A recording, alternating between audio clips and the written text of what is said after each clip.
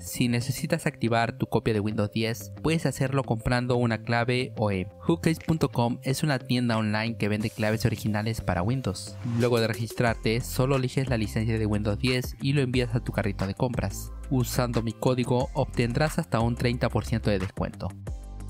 Tienes varias formas de pago a tu disposición. Luego de haber hecho tu compra, tu clave aparecerá en la bandeja de tu cuenta. Lo activamos y listo. Ya tendrás tu clave de Windows 10 activada. Activa tu copia de Windows 10 de manera más segura con una clave OEM. Más información y links en la descripción. Los precios de los procesadores Xeon han disminuido bastante durante este año 2023. Los que tenemos placas base X99 chinas, ahora ya podemos ir por procesadores más potentes. Personalmente estoy intentando decidir entre estos cuatro modelos de procesadores. Actualmente el procesador más potente que uso en mi PC X99 es el 2678B3 y con los precios disminuyendo cada día me parece que ya es hora de aprovechar el momento y actualizar mi PC X99. Hace tiempo compré esta placa base que integra un procesador de laptop modificado. Al ser un procesador móvil y de la undécima generación de Intel, es más eficiente y tiene un consumo muy bajo comparado con un procesador de escritorio. Esto se traduce en que este procesador obtiene bajas temperaturas en intensas cargas de trabajo. Este combo de placa base y procesador de laptop resultó ser una buena compra. Armé una PC con este combo y lo uso exclusivamente para juegos y la experiencia ha sido muy buena, sobre todo con el bajo ruido y las bajas temperaturas que llega a alcanzar. Ahora, tengo esta placa base X99. ¿Existirá algún procesador Xeon que pueda darme una experiencia similar en cuanto a eficiencia y temperaturas?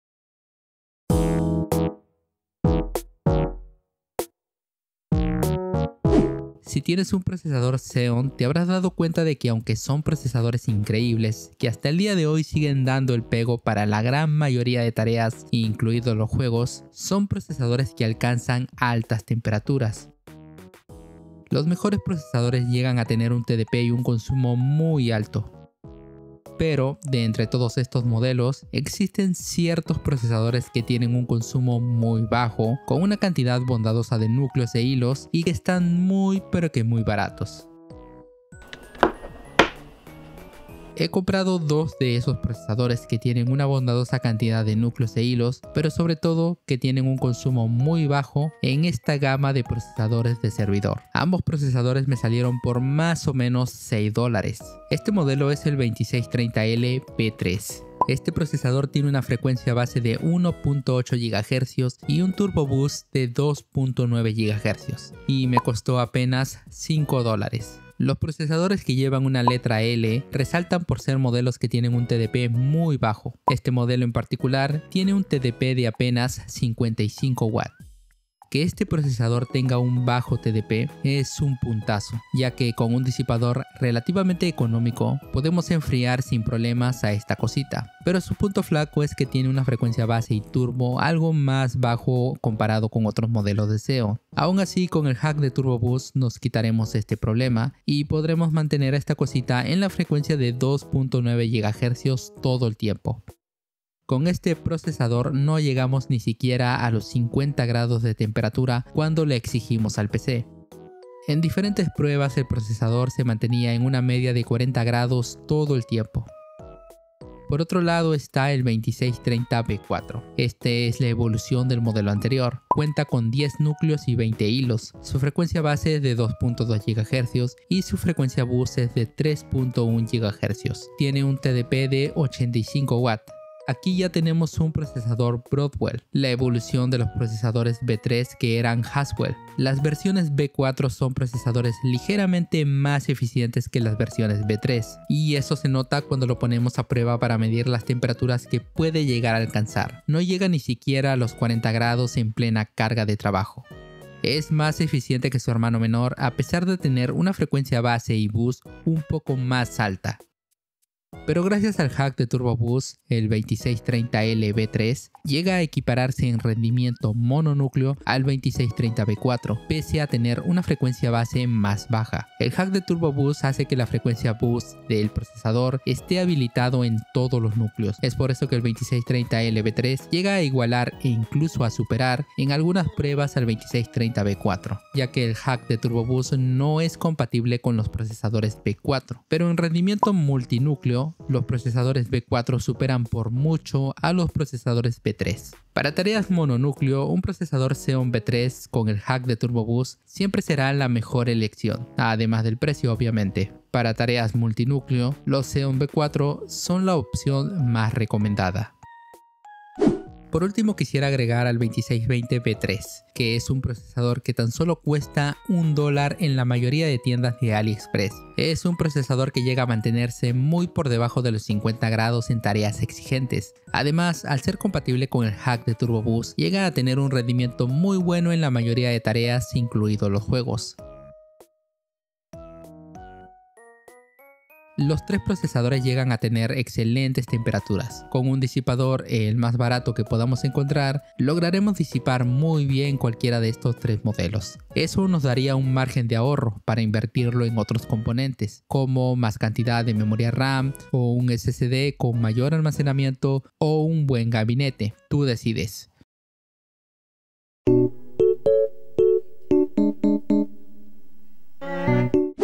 En pantalla estarán viendo los componentes que usaré durante las pruebas. Estaré capturando el gameplay usando la propia gráfica y eso me restará algunos FPS. En cuanto a juegos, en The Last of Us el juego va muy bien la mayor parte del tiempo, sobre todo con el Xeon B4, pero parece que en este juego importa más la cantidad de núcleos que la frecuencia por núcleo, porque en el de 6 núcleos ya el CPU está llegando al 90% de uso y eso hace que se genere un cuello de botella en varias partes del juego, mientras que en el modelo de 8 núcleos está un poco por detrás en porcentaje de uso, pero ya está empezando a generar cuello de botella. Y el procesador B4 siendo un procesador con baja frecuencia pero con 10 núcleos, va mejor en cuanto a uso de CPU. Aún con el hack de Turbo Boost, los dos modelos B3 no le sacan ninguna ventaja al modelo B4. Así que visto esto, tengo la curiosidad por probar otros procesadores B4 para ver si esto se repite con otros modelos.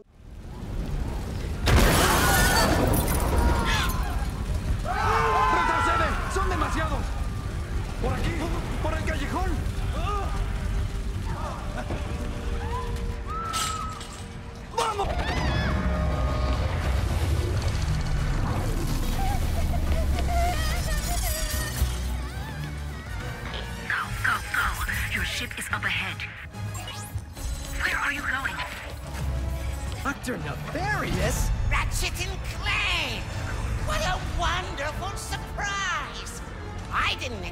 To see you here. Considering my were meant to annihilate you eight minutes ago.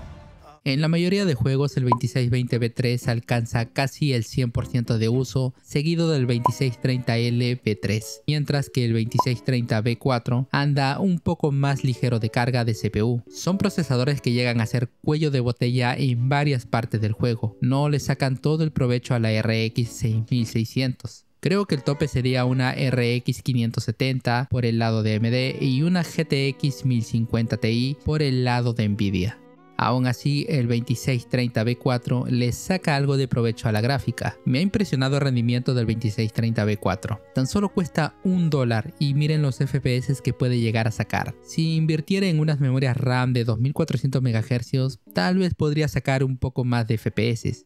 Ahora mismo solo cuento con memorias de servidor de 2133 MHz. Como una cita. Soy del tipo romántico. ¿Tienes tus modos?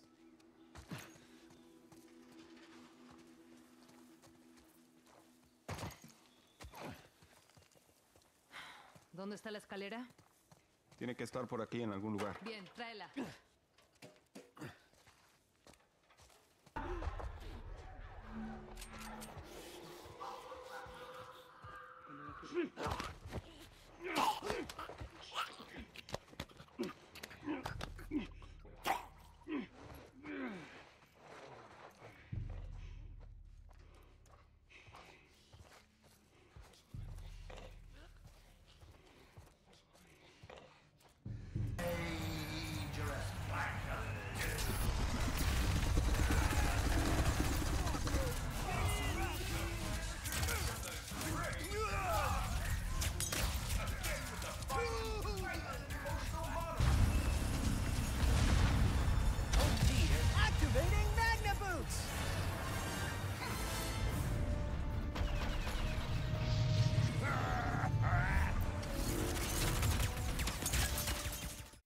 Desde mi propia experiencia, el 2630B4, a pesar de no ser compatible con el hack de Turbo Boost, he tenido una mejor experiencia de juego que con los otros dos modelos B3. Me costó apenas un dólar y que tenga este rendimiento en los juegos es algo difícil de creer. Cualquiera de estos procesadores son excelentes opciones para tener una PC eficiente y que no se caliente demasiado. Estos son los modelos que tienen un bajo TDP comparado con otros modelos de SEO. Todos tienen un precio increíblemente económico y es difícil no interesarse por alguno de estos modelos. Te dejaré esta lista más los enlaces de compra en la descripción de este video. De entre todos estos modelos, yo recomiendo el 2640 B3 o B4. Me parece que es la mejor opción en esta gama de procesadores eficientes y que tengan un rendimiento sobresaliente. Aún así, todos estos modelos son procesadores que por sus propias características y limitaciones ya no podrán ser emparejados con gráficas que se lancen en el futuro, porque van a generar un gran cuello de botella. Hasta una RX 6600 y posiblemente una RTX 3050 serían las gráficas que no generen un gran cuello de botella con estos modelos, sobre todo con las versiones B4, que al parecer le sacan un poco más de provecho a gráficas algo actuales. En algunas partes del juego generarán un cuello de botella mientras que en otras partes del gameplay la gráfica trabajará al 100% de su sin cuello de botella a la vista. En las métricas pueden verlo con mayor claridad.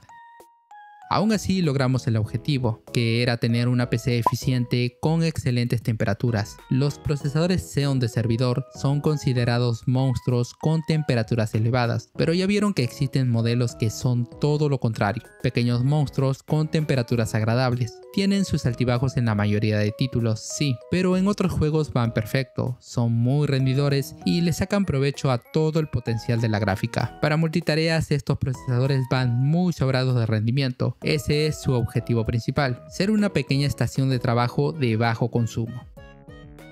Compraré todos estos procesadores de la lista ya que todos tienen precios muy económicos. Seguiré haciendo más comparaciones para aquellas personas que quieran actualizar su procesador por otro modelo más eficiente y que tenga buenas temperaturas. Pronto subiré esos videos al canal. Si te gustó el video ya sabes qué hacer. Eso es todo. Nos vemos.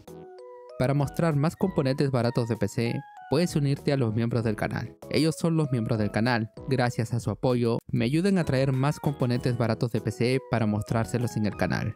Muchas gracias por su apoyo. En serio, mil gracias.